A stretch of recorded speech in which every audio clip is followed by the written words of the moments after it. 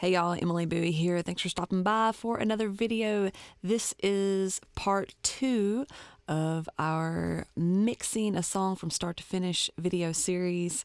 And if you are just now joining us, please don't forget to hit the subscribe button and the little bell that's next to it. That way you'll know each time a new part comes out. So we left off here with kind of getting everything set up, uh, going over the mix template a little bit, and kind of uh, my getting started process. And the last things that we talked about was just seeing what our foundation tracks were, and that's kind of what I'm going to be listening to right now. And while we do that, I am going to be kind of tweaking the uh, stereo bus over here. Now, these are the plugins that I will have on my mix template. Um, I did add a couple of new things here from the last video because I just purchased it, and that is the UAD Ampex ATR 102. This uh, tape machine plug-in emulation here, and there's a lot of things you can do with this. Um, you can have it as your saturation uh, tape machine here, and you can also add some pretty cool effects. Uh, I'm not sure that we're going to use this for that in this video, but it does come with a lot of different features. And for this, we're just going to kind of be playing around mostly with this and these knobs up here, kind of our ins and outs of the tape machine. But anyways, let's start mixing. I probably won't be talking too much during this. Um, this is just more of a process that I go through, and I don't know what I'm going to do. I haven't heard the song in a couple of years, but I'm um, just going to kind of see what happens.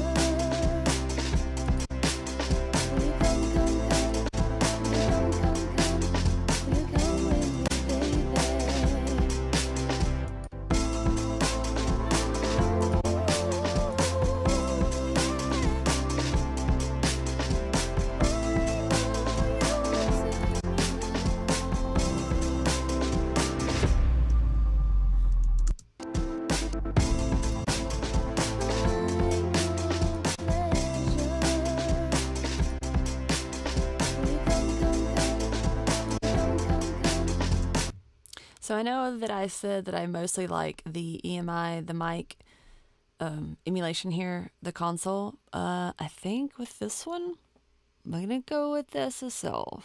And just as much drive as I'm giving it, I'm going to pull it back down.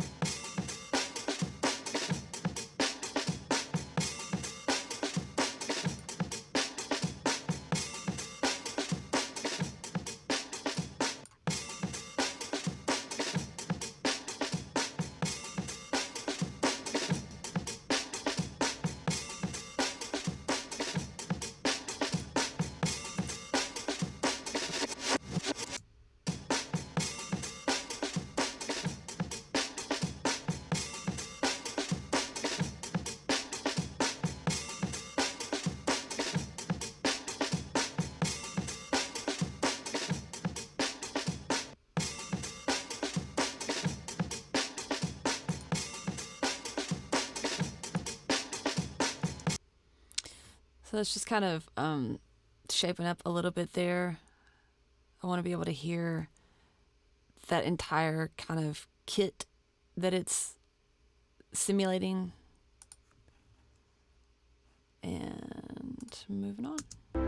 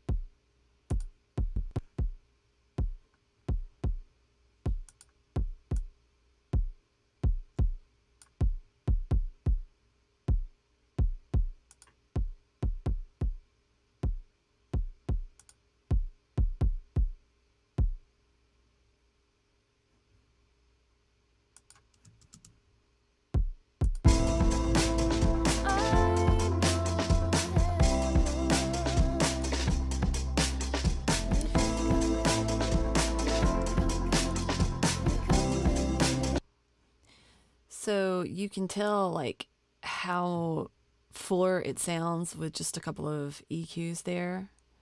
Uh, before it kind of reminded me a little bit of like hitting a flat tire, just pluh, pluh, pluh.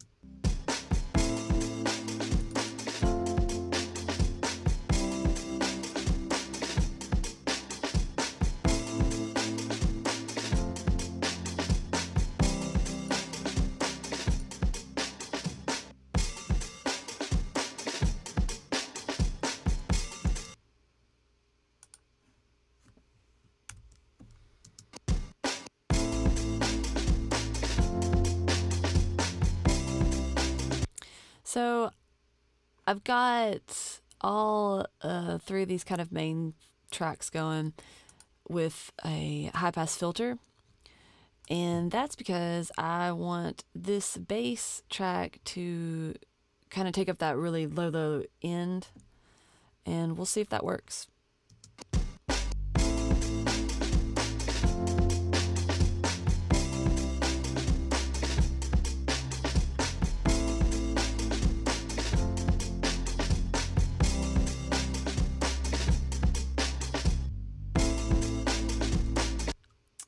Thing I did forget to do here that I really want to is put all of these in natural phase.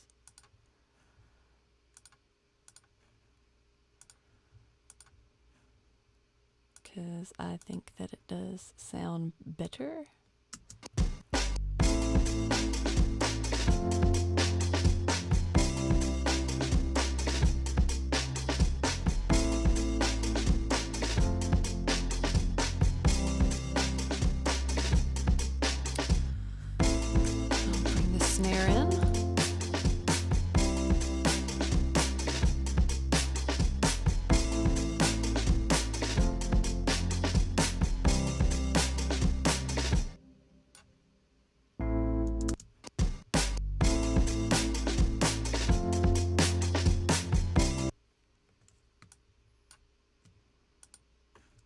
Think it already sounds kind of splashy.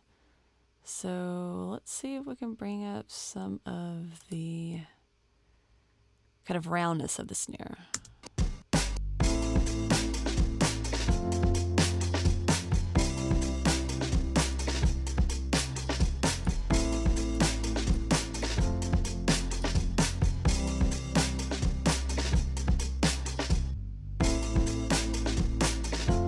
It's kind of thin there.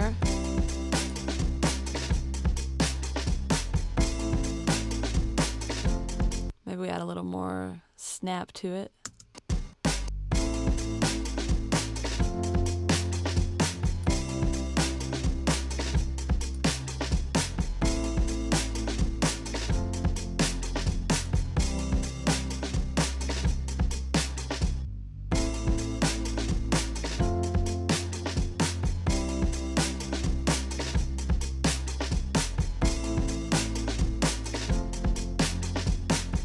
So I kind of like the tone of the 1.6 here rather than the 3.2, but I think I think they're both fine. I think that's a little bit more of what you prefer um, in this situation.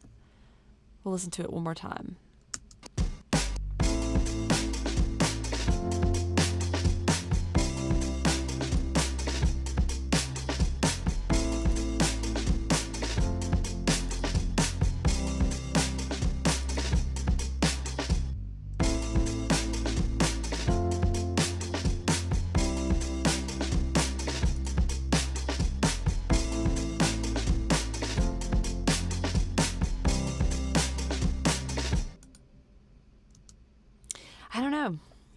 Maybe I like the 3.2. I'm going to leave it at the 1.6 for now, and that may be something that the more things we start to bring in, that it needs to stick out a little bit more, and we'll bump it up to the 3.2 there. But we'll keep it at 1.6 for right now.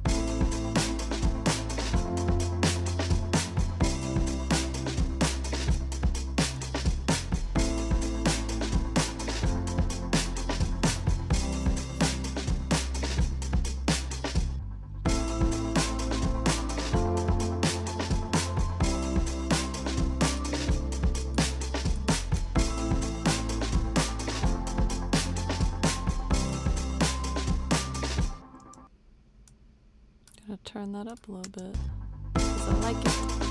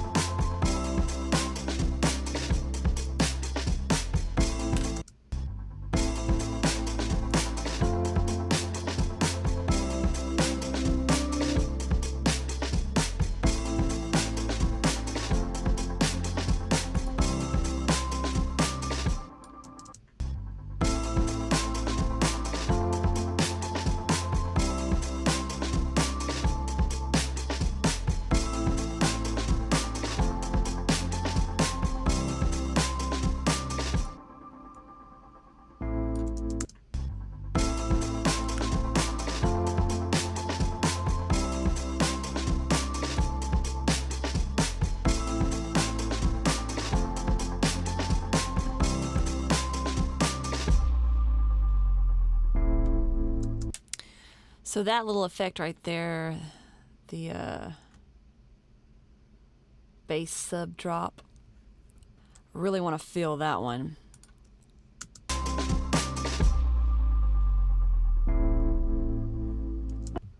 So what can we do?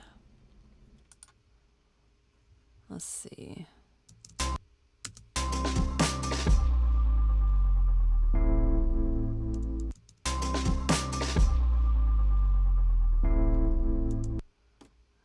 Could just raise it up a little bit.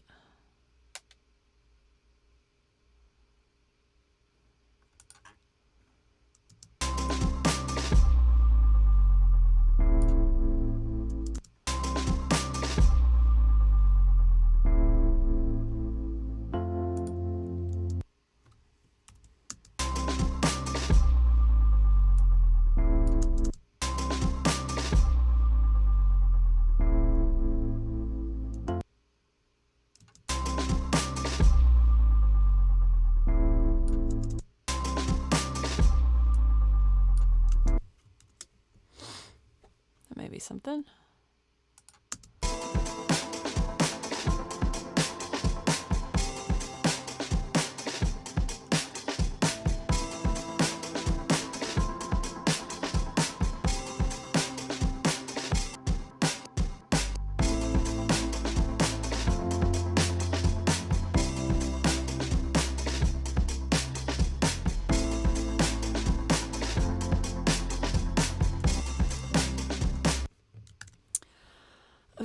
So I think it's time to add some parallels into the equation here. Since there's no sort of hi-hat sounds, I think I'm just going to send all three of these to both drum bus, drum crush, and that'll be it for now. Okay, so we're just checking. So we've got our outputs going to our stereo bus, drum bus, and our drum crush bus, which are parallels. And those have already been calibrated down here. And go ahead and solo safe those, see what that sounds like.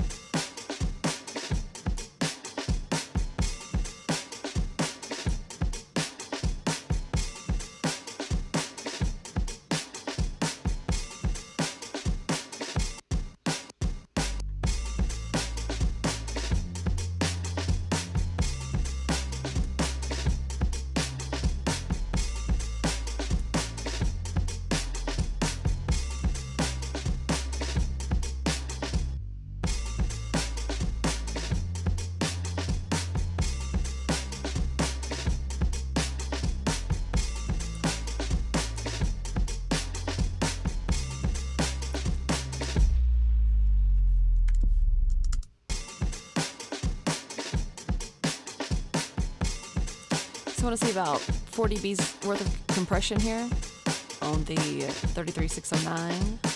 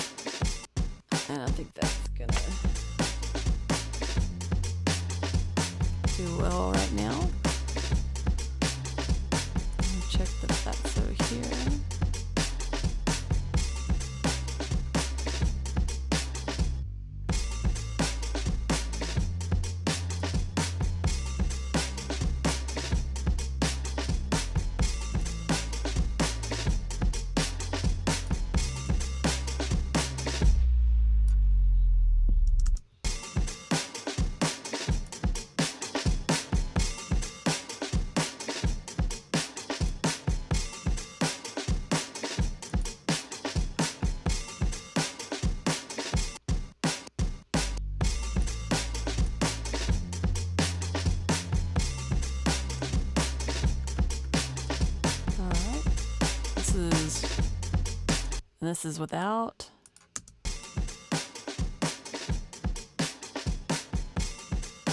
And with the parallels.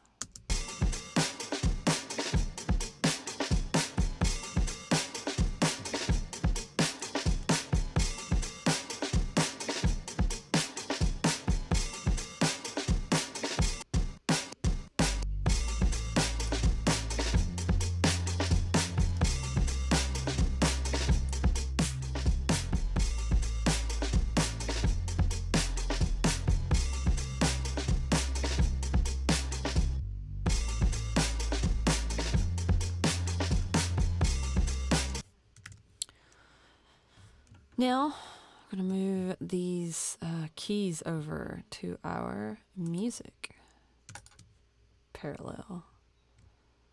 So we're going to go out of our stereo bus and also our music bus. So let's check those. Bus, bus, bus. All right. And we're going to look to see the same thing here with the 33609. So around 4 dBs of compression there.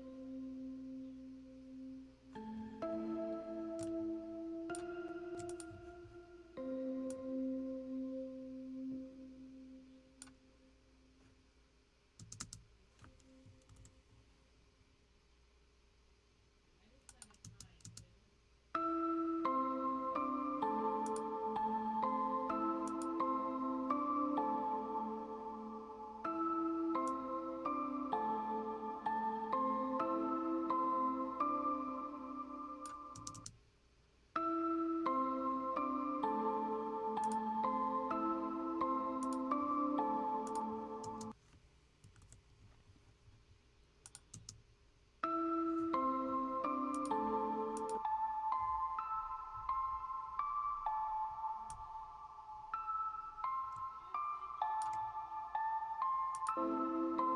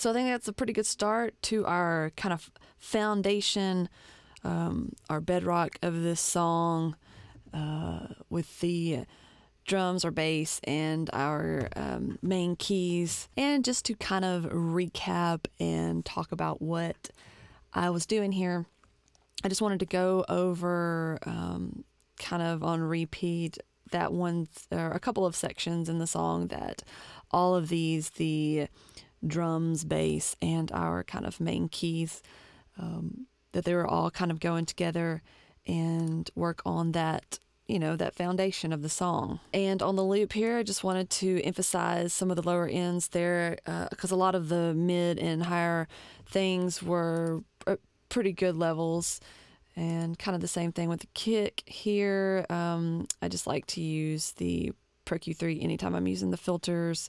I think it sounds really good, especially in natural phase. And then I just really like using this on kick drums. It's already set to 60, and if you really needed some more lows, 35, and just boosting some of some of that.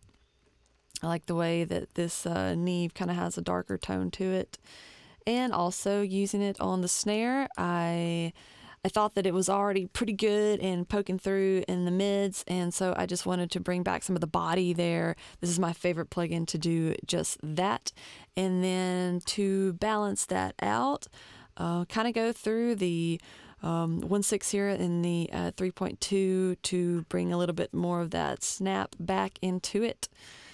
This is my go-to plugin for that as well. I don't like to do those kind of moves with uh, plugins like the uh, Pro Q3 here. Uh, I feel like once you start using something like this and um, using your own shape and Q, that you tend to get a little in too involved with making those choices, and it can sometimes lead to things sounding really thin. So that's why I like to use plugins like the uh, Legacy 1073 here, where it's built in cue and it's already, um, you know, the uh, frequencies are, are already given for you and you don't have to worry about, um, you know, looking at the frequency spectrum there. With this, with the Neve, you're using your ears. Again, uh, just using the filters here just to get some of that really low, low out of the way, just to tighten it up just a little bit so that it can go into the uh, dbx 160 here, just giving it a little bit more, you know, bass sound. Uh, that's what these are good for, and not compressing it too too hard there. Um, just kind of of um, keeping everything consistent. And with the bass synth, I'm just boosting up that really low end to really um, emphasize that change in the song. And then for our keys here, not doing a whole lot. Uh, just some filtering and a little bump at the top of that filter. I just think it sounds a little more natural uh, to not just completely cut off the low end there. Same here, just slightly. And on this um, kind of throbbing, this kind of pulse uh, keyboard sound, I wanted to control that, but also have that pumping um, still there. So when it's not, when it's coming in, it's hitting. And then when it um, goes back down, it releases. So just using those. Uh, the other ones I thought just sounded pretty good didn't think I needed to EQ anything, especially because I was bringing them out in our parallel uh, music bus here using the 33609 with a standard mix template setting that I always have. And I've got the same same exact setting for the drum bus. And then um, our drums are also going to the drum crush as well just uh, using the fat. So here. But anyways, I think that's a good place to stop for now. And then we'll pick everything back up with our kind of orchestra section in the middle here and uh, continue mixing this song or how I like to mix um, a song like this your more um, cinematic type of song.